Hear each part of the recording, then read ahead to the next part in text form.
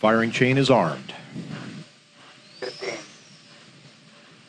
Go for main engine start. TMRS 10, 9, 8, 7, 6, 5. All three engines up and burning. 2, 1, 0, and liftoff. The final liftoff of Atlantis on the shoulders of the space shuttle. America will continue the dream. Roger roll, Houston now controlling the flight of Atlantis. The space shuttle spreads its wings one final time for the start of a sentimental journey into history. 24 seconds into the flight, roll program complete. Atlantis now heads down, wings level on the proper alignment for its eight and a half minute ride to orbit. Four and a half million pounds of hardware and humans taking aim on the International Space Station. 40 seconds into the flight, the three liquid fuel main engines throttling back to 72% of rated performance in the bucket, reducing stress on the shuttle as it goes transonic for the final time. Engines now revving up, standing by for the throttle up call.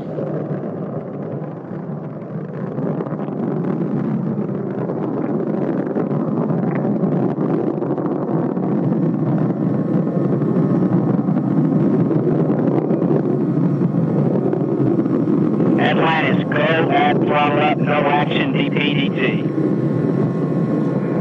Go with throttle up, no action on DPDT. The call from Capcom Barry Wilmore, a transducer, instrumentation only, no action required.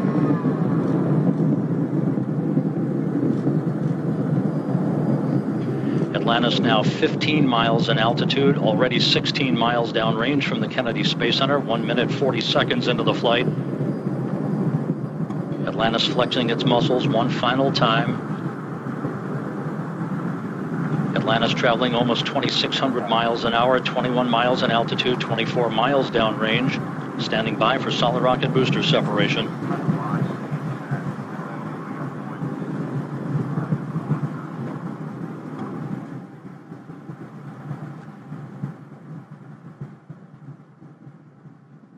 Booster officer confirms staging a good solid rocket booster separation. Guidance now converging. The main engine steering the shuttle on a pinpoint path to its preliminary orbit. Two minutes, 20 seconds into the flight. Atlantis already traveling 3,200 miles an hour, 35 miles in altitude, 50 miles downrange. The propulsion officer reports the orbital maneuvering system engines have ignited. Atlantis kicking on its afterburners for 1 minute 23 seconds for the final phase of powered flight. Atlantis, two engine foul. Two engine down. That As you call know, from Atlantis Capcom. a single pane day, so in the event of contingency, you're in plane plus 230 on the ecal page. No com VIs when you're ready to copy. Okay, in plane plus 230, go ahead. Press the ATO, 10 decimal 8. Press the MECO, 14 decimal 7. Press ATO 10 decimal 8, press the MECO 14 decimal 7. That's a good read back, Atlantis.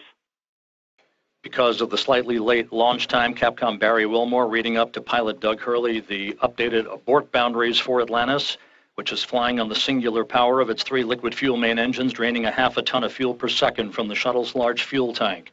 Three and a half minutes into the flight, Atlantis traveling 4,200 miles an hour, 54 miles in altitude, already 120 miles downrange from the Kennedy Space Center. Three good main engines, three good auxiliary power units, three good fuel cells for Atlantis.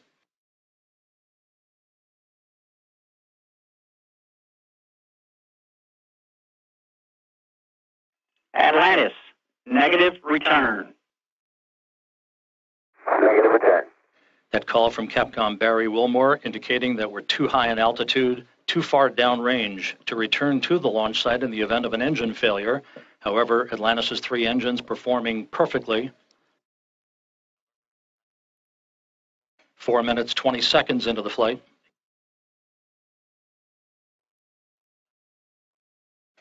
Firing chain is armed. 15. Go for main engine start. TMRS 10, 9, 8, 7, 6, 5. All three engines up and burning. 2, two, one, zero, and liftoff. The final liftoff of Atlantis on the shoulders of the space shuttle. America will continue the dream.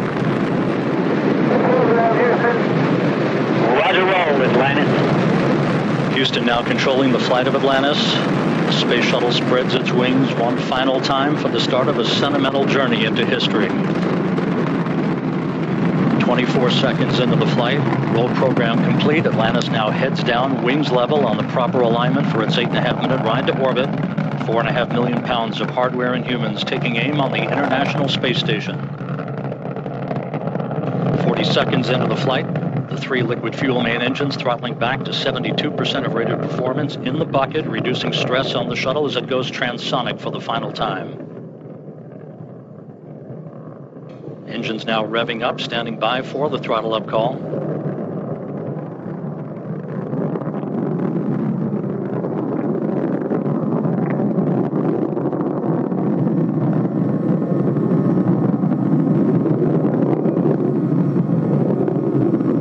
Atlantis, go at throttle up, no action, DPDT. Go with throttle up, no action on DPDT. The call from Capcom Barry Wilmore, a transducer, instrumentation only, no action required.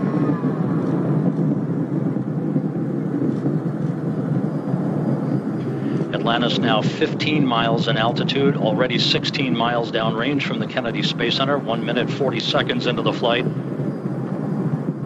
Atlantis flexing its muscles one final time.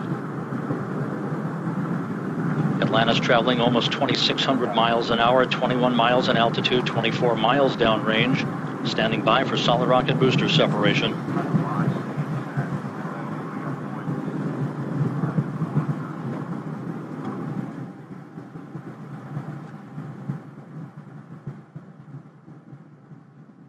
Booster officer confirms staging a good solid rocket booster separation. Guidance now converging. The main engine steering the shuttle on a pinpoint path to its preliminary orbit. Two minutes, 20 seconds into the flight. Atlantis already traveling 3,200 miles an hour, 35 miles in altitude, 50 miles downrange. The propulsion officer reports the orbital maneuvering system engines have ignited. Atlantis kicking on its afterburners for 1 minute 23 seconds for the final phase of powered flight. Atlantis, two engine foul. Two engine down.